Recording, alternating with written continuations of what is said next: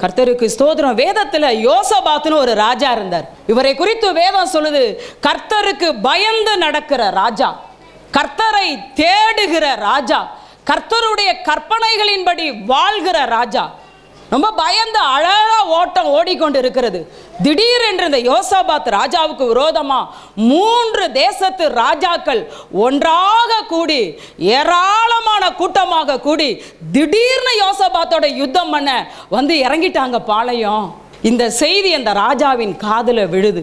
விழுந்த உடனே வேதம் சொல்லுது யோசாபாத் பயப்படுறாரு. பயந்து அவர் செஞ்ச காரியம் என்ன தெரியுங்களா? தேசம் எங்கும் ஒரு சட்டம் போட்டார். எல்லாரும் உபவாசம் இருந்து கர்த்தரை தேட வேண்டும். இப்படி ஒரு ஆபத்து வந்துட்டு திடீரென்று ஒரு ஆபத்து குடும்பத்தில் வருதா? என்ன செய்யணும்? உடனே உபவாசம் இருந்து குடும்பமாக தேவனை நோக்கி கூப்பிடணும். தேவனை நோக்கணும். திடீர்னு வந்துட்டாங்க. பெரிய ஏராளமான கூட்டம். மூணு ராணுவம் கூடி வந்து நிற்கிது ராஜாக்கு என்ன செய்யன்னு தெரியல. அவர் போட்ட சட்டம் எல்லாரும் உபவாசம் போடுங்க. எல்லாரும் ஆண்டவரை நோக்கி கூப்பிடுவோம். ஆண்டவர் தான் நம்மளை நடத்தணும். அப்படின்னு சொல்லிட்டார். உடனே ஜனங்கள் எல்லாம் கீழ்ப்படிந்தாங்க. எல்லாம் குழந்தையிலிருந்து பெண்கள்லிருந்து எல்லாரும் உபவாசம். உபவாசித்து ஆண்டவரை தேடுறாங்க. அப்போ இந்த ராஜா ஒரு ஜெபம் பண்ணுறார் பாருங்க ரெண்டு நாளாகமம். இருபதாம் அதிகாரம் பன்னெண்டாவது வசனம் சொல்லுது எங்களுக்கு விரோதமாக வந்த இந்த ஏராளமான கூட்டத்திற்கு முன்பாக நிற்க எங்களுக்கு பலன் இல்லைப்பா. ஆண்டவர்கிட்ட உண்மையை சொல்ல பழகுங்க. ஆண்டவர்கிட்ட உண்மையை சொல்லுங்க. என்னால் அந்த பிரச்சனையை ஃபேஸ் பண்ண முடியல ஆண்டவர். என்னால் அந்த வேதனையை தாங்க முடியல ஆண்டவர். என்னால் அந்த காரியத்தை ஏற்றுக்கொள்ள முடியல ஆண்டவர். திடீர்னு வந்துட்டாங்க ஆண்டவர். எனக்கு பலன் இல்லைப்பா. என்னவா? எனக்கு பலன் இல்லை. சொல்லுங்க அப்பாட்ட. பாருங்க ஆண்டவரே எங்களுக்கு பலன் இல்லை ஆண்டவரே. அடுத்து என்ன சொல்றாரு? நாங்கள் செய்ய வேண்டியது இன்னதென்று எங்களுக்கு தெரியலப்பா. சொல்லணும் அதை. எனக்கு இந்த பிரச்சனையில எப்படி கையாடுறதுன்னு எனக்கு தெரியல ஆண்டவர்.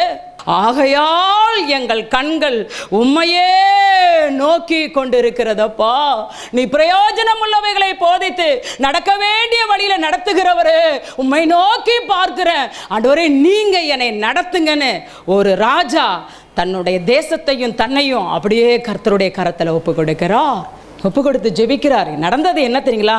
ஒரு ஒரு மனுஷன் மேலே தேவனுடைய ஆவி வந்து இறங்குது. பதினான்காம் வசனத்தின் பின்பகுதி பாருங்க. லேவியின் மேலே கர்த்தருடைய ஆவி வந்து இறங்குது. இறங்கி தீர்க்க தரிசனம் வருது. என்ன தீர்க்க தரிசனம் பதினஞ்சாவது வசனம். சகல யூத கோத்திரத்தாரே இஸ்ரோவேல் ஜனங்களே ராஜாவாகிய யோசபாத்தே கேளுங்கள். நீங்கள் அந்த ஏராளமான கூட்டத்திற்கு பயப்படாமலும் கலங்காமலும் இருங்கள். இந்த யுத்தம் உங்களுடையது அல்ல என்று கர்த்தர் சொல்லுகிறார். பார்த்தீங்களா என்னை நடத்துங்கப்பான்னு ஒப்பு கொடுக்கும்போது கர்த்தர் ஒரு மனிதன் மூலமாய் பேசுகிறா தீர்க்க தரிசனம் வருது. ஆண்டவர் சொன்ன ஆலோசனைக்கு அப்படியே யோசபாத் கீழ்ப்படிஞ்சு அடுத்த நாள் காலையில் தன்னுடைய இராணுவத்தை அழைச்சிக்கிட்டு அப்படியே போறாரு. ஆண்டு சொல்லிட்டார் யுத்தம் உன்னுடையதல்ல யுத்தம் என்னுடையது. நான் யுத்தம் பண்ணுவேன். அவனை உன் கையில் ஒப்பு கொடுப்பேன். அப்படின்னு ஆண்டு பேசிட்டாரு. அப்படியே இவர் என்ன செஞ்சாராம்? அப்படியே ஆண்டவரை துதித்து கொண்டு கர்த்தர் நல்லவர் அவர் கிருபை என்றும் உள்ளதென்று கர்த்தரை துதித்து கொண்டு கர்த்தரை பாடிக்கொண்டு கர்த்தர் சொன்ன ஆலோசனையின்படி கர்த்தர் நடத்துகிற வழியிலே நடந்து போனார்கள். நடந்தது என்ன தெரியுமா? அப்படி போய் அப்படி பார்க்குறாங்க. பார்த்து கண்ணு பார்க்குற தூரமெல்லாம் என்ன நடந்திருக்குன்னா விரோதமாய் வந்தவர்கள் எல்லாரும் செத்த பிரேதங்களாய் கடந்தார்கள். அவர் நடத்துகிற வழியில நடத்துங்க. ஏன் வழியில நீங்க துணைக்கு வாங்கன்னு கூப்பிட்டீங்கன்னா விட்டுருவாரு.